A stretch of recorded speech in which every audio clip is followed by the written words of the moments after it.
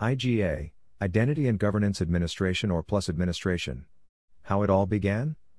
We need to review all the access for all the users in the company. How can we do this? Well, let's first explain how it was done in the past. First, regardless of whether you have an IDM or not, we need to consolidate all access for everyone in the company in one place, believe it or not at the time this was done in a huge spreadsheet.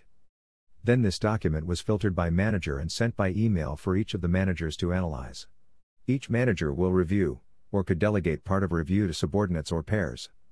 But don't forgetting he is responsible for reviewing the accesses of his subordinates too, decide to removing some accesses that are unnecessary and keeping others. After that, he consolidates the response and returns it to the campaign admin.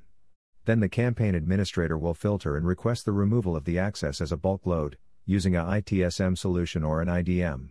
As a result, the extraction of a report can be performed, and compared with previous ones for auditing purposes. But all of this is a lot of work, takes a lot of time, and generates a lot of stress. How to make easier? Well, let's automate and improve this process. Let's call Identity Governance Solution, or just IG. Well, first let's collect all the information from users and their accesses. Let's start with IDM, which is the easiest. Then IDM disconnected applications, in which provisioning or deprovisioning is manual, with human interaction. We can also collect using CSV files, which is a simplification of a spreadsheet into delimited text. All of this collected information can be categorized simply into three types identities, which are people and their attributes, accounts, which represent the user used on each system, and permissions, which are the accesses that users can have in each system, such as groups, profiles, roles, etc. The name and complexity of the permission may vary from application to application. Therefore, we have to abstract a model of roles that is not tied to a vendor or application, in addition to being friendly to non technical users. To automate and facilitate this modeling of roles, role mining algorithms were created that can analyze accesses in a top down and bottom up way, suggesting technical and functional roles based on common accesses and common information, such as job position, location, department, and other user information. Furthermore, if you have already carried out a previous load, it is possible to use algorithms to find inconsistencies, duplicity, that is, roles with the same users and same accesses. Even roles that were used in the past but are currently empty. All that allows you to select in a single identity, and have complete view, from different perspectives. Viewing all its accesses, data and history. If you expand the view in graphs and reports that can be parameterized, adjusted and customized as needed. With this, you can meet audit and compliance requirements. Now, with all the information, you can create policies or rules, or even create scenarios to identify SODS in more complex ways than the traditional ones. This makes it easier to identify access conflicts or potential fraud.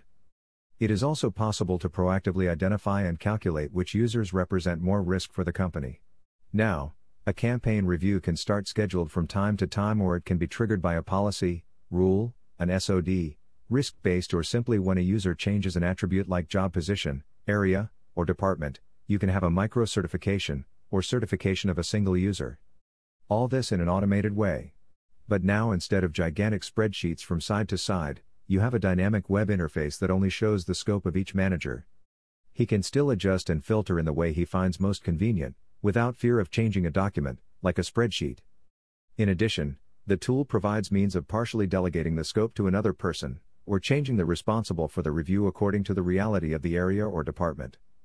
Farther, AI tools were included to help the reviewer make a decision based on history, providing statistical data and comparisons, as well as technical details about the access that can help in the decision to keep or remove each access. During the campaign, the review administrator only needs to track and review the progress of the campaign. The tool itself consolidates and, at the end, starts the removal task, that's called fulfillment, that can be automatically with the IDM, generating a bulk text file for removal or even automatically opening a ticket in the ITSM tool for each removal, to also meet the manual provisioning tools.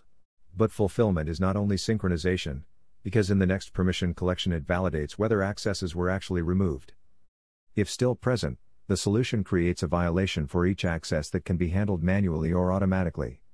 Until integrity is established, so that no discrepancies exist without the knowledge of governance administrators. Note that the tool can now do much more than review campaigns. Let's go to another possible scenario. to compare the access of two or more people. Select and place in a shopping cart, like on a shopping website, and this starts one or more workflows. With forms that can be customized, notifications that can be sent, and APIs from other applications that can be consumed during the flow. Therefore, the action is not only to remove hits in the review campaigns, but to provide means of visualization, also request and receive new accesses. Note that this capability is described in the access request of the identity lifecycle. In the move, we can start micro certifications, SOD capabilities have been extended, joiner and leaver can be configured as policies or rules. Remembering that the IDM is linked to the IG automates provisioning and deprovisioning. So the IG combined with IDM, it can serve not only the identity lifecycle, but provide additional administration and management capabilities.